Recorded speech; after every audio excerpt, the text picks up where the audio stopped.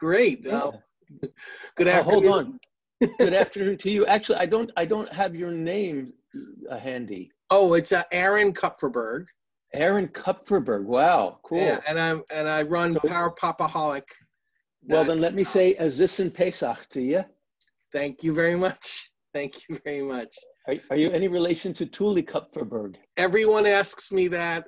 Everyone? Everyone, everyone I meet in, the- in the music business asks me if I'm related to Tuli. I know who he is. Unfortunately, we're not related. You know, I, I actually saw the Fugs. Really? I saw the Fugs. Yep, and he was amazing. They were they were actually a great band.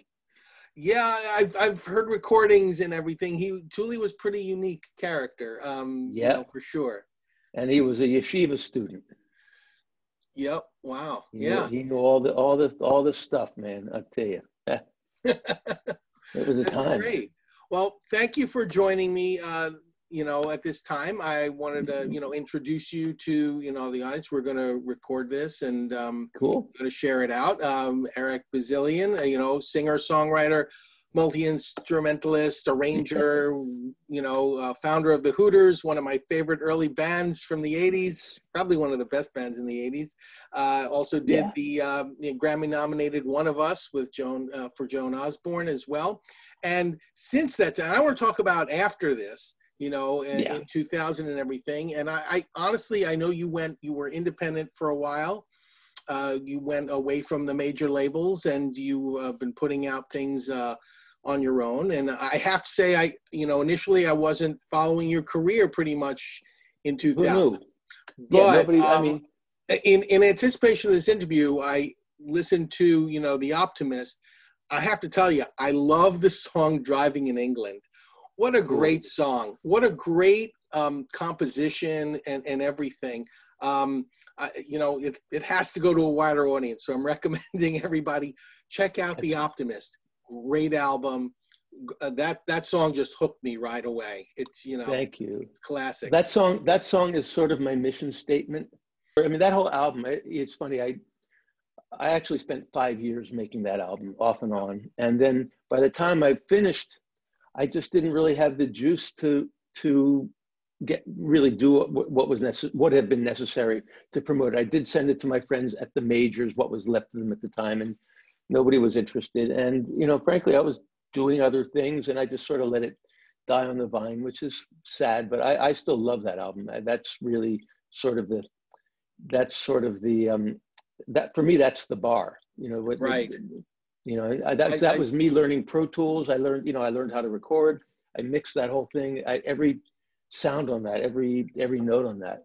Yeah, I, and and I I think it's such a great song. And the album itself, it, it has varying different types of styles with it. It's not just power pop like that first song. It kind of moves around. Even your your follow up album, I like the song Insomnia a lot. That's a great song too. Um, but now you've been pretty active recently. You have a few new singles out. You're going to come out with a new album. Uh, one of the new singles I heard was Sarah when she's sleeping and there's Yep. a video for that as well. Tell me a little bit about this song. Who is Sarah? And because it's got a great hook in that chorus, of course. I love that stuff. Tell me a little bit about the song. I write very few love songs. Love songs is just it's hard to find a unique angle on a love song, and um, you know I've got so many other unique angles that just plow through me into onto my guitar into the microphone. Um, but this one, the words just came to me. Sarah is my wife. Um, uh, I wasn't thinking about what happens when she's sleeping, uh, although she makes some really sweet sounds when she's sleeping. Um, uh, some might call it snoring. I, I call it comforting.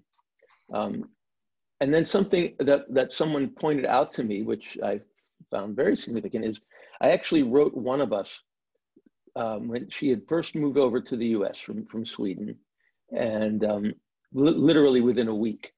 And she asked me to show her how I make a song. And I had my four track cassette recorder at the time. That was what everyone had. And I had a guitar riff. And um, I made a little track and played it back for her. And she said, Great, now sing it. And uh, at, you know, at the time, it, I wasn't really, I wasn't all in with my my process of stream of consciousness writing, which is mostly how I write. I'll right. create musical backing. I'll put the microphone and record, and things come out. Um, but uh, she said, "Sing it," and I'm like, "I don't know. I, I don't. I don't know what I'm going to sing about." She fell asleep, and while she was asleep, I sang the whole song. Wow. So, so great things happen when she's sleeping, and even greater thing happened when she woke up and gave me the last line of the chorus about the trying to make his way home because I was stuck on that. So very nice. Also, I heard recently uh, or semi-recently, I guess, was a inter- interesting arrangement for the Beatles' "Help," which I thought was like the Beatles hooterized, basically. It was really cool. I was like, wow, I, I didn't. This is a really unique thing to do to basically take that classic song and make it your own. You know. You know, it, what that was not my intent um, I came up with, with the riff. It was actually started on the mandola right. and then the guitar, and I was going to write a song to it. I had a track that, that I really liked, and I started singing, and all of a sudden, I started singing the verse to help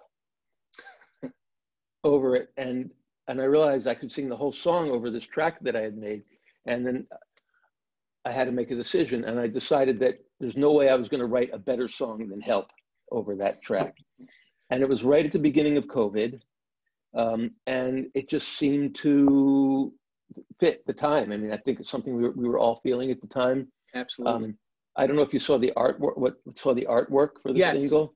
Yep. But that was that was um actually my, my son helped me with that. Uh, he he showed me, reminded me the the Beatles original cover where they're doing semaphore in blue coats, and then I said, right. let's make it let's make it blue surgical gloves in sign language. Right, right, yeah, I saw the sign language. It, that's it was great. That's a it's a great little twist on a on a classic. And uh, so, tell me a little bit about like this new album that's coming out. Mm-hmm. So, it's, it's going to include obviously Sarah when she's sleeping there's a lot of speculation on what other music is there. Is is is oh. the album done, or is there more to come based on what's out there now? It's it's. I think it's done. Um, um, I, I stopped at ten. Honestly, I I could I could put thirty tracks on this album, but I I just felt like um, this was a particular cohesive body of work, all of which I've done, all, almost all of which I've done not during the, the pandemic phase, but my sort of time in exile here in Sweden. We right. moved here in 2017, and I, I do love it here. I've been going back and forth to home, which I need because that is that is home. Right. Uh, though, though, I feel at home here, there there is a difference. I have my studio there. Um, here I have a room in the basement, which I'm very lucky to have, with a laptop, a good microphone, and a couple of guitars, and a bass right. and a mandolin. So That's I'm able to do it, it is. And then I've got, you know, drummers all over the world who can record themselves um, that, for me. So the, the only song that predates my, my time here is um, a single I released called Heaven Ain't Gonna Save Us, which I wrote the day after the 2016 election. And I decided to release the day after the 2020 election because it was equally relevant, though the shoe right. was on the other foot. So, got it. Got it. So um, another question I was going to ask. I know in mm-hmm. 2007 there was a bit of a Hooter reunion uh, with Time Stand Still, and um, you know you had some great songs on that as well. But I'm wondering, are, are you still in touch with the the other members of the band? Is there possibly another Hooter reunion in the offing? Well, there is no reunion because we never broke up and we've been active all these years.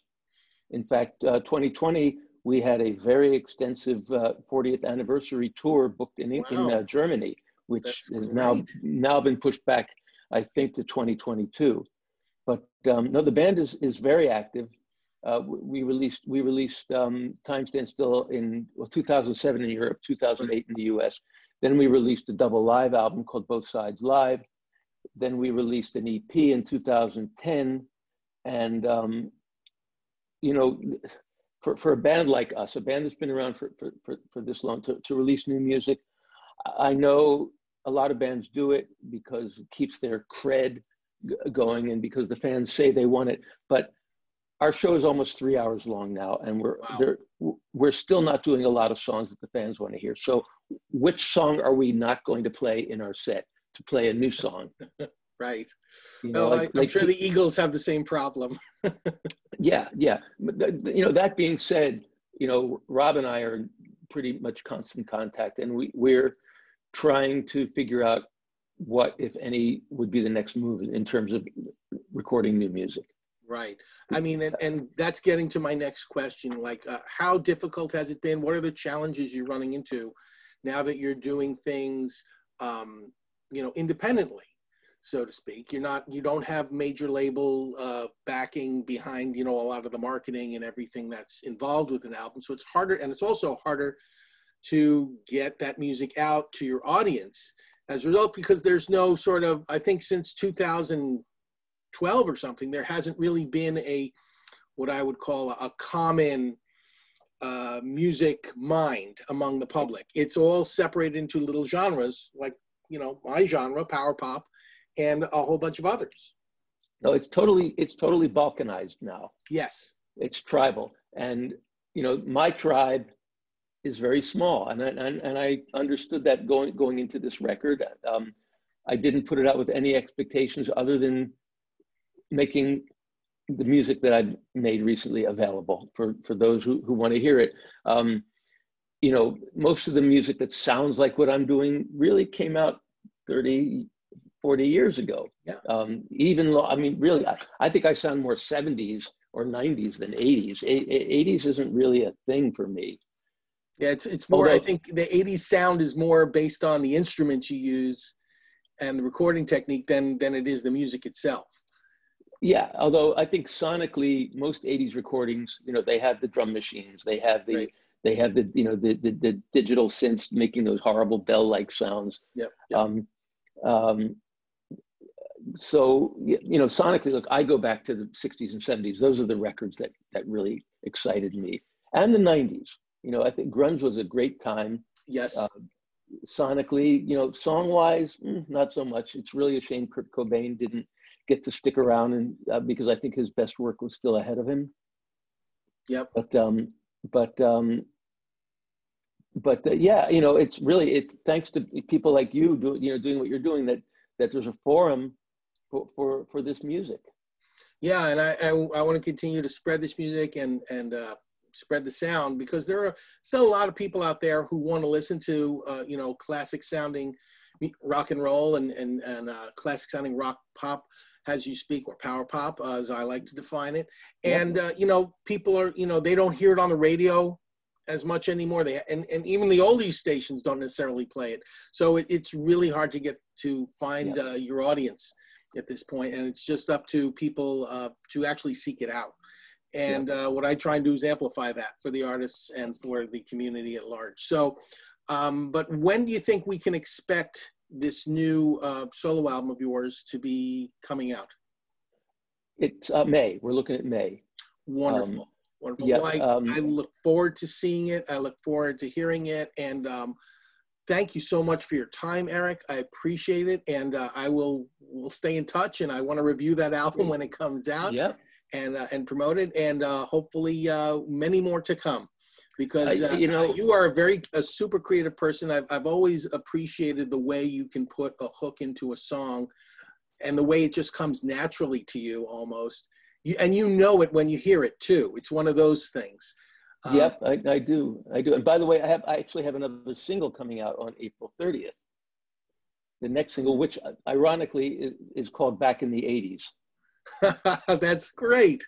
That's Although great. it's not although it does it does um, name check a couple of um, uh, things that happened in the 80s it's not about the 80s it's really right. more about about nostalgia and appreciating here and now and you know it's a it's a bigger statement than that and there's a great video that that was shot last summer here in sweden up in the countryside uh, mm-hmm. uh, when i played the song for the the director the brilliant swedish swedish filmmaker he um, his idea was not to make it the 1980s, but to make it another 80s.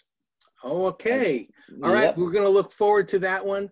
Thank you again, Eric Bazilian. Um, please look for his new album coming out in, uh, you know, in May, like you had mentioned. And um, we'll be, we'll be uh, checking it out. Thank you so much. Well, thank you. Thanks Take care. You All too. Right. Bye-bye. Bye.